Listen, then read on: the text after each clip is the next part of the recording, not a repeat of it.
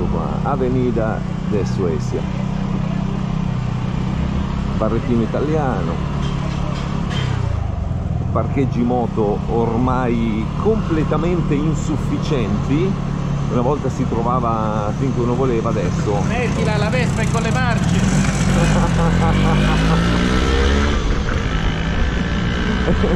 Se dovete farvi un tatuaggio eccolo Luca che ha un negozio qui sotto eh, intenditore ha anche una moto grande di quelle belle eh, però sostiene probabilmente giustamente che la Vespa è quella con le marce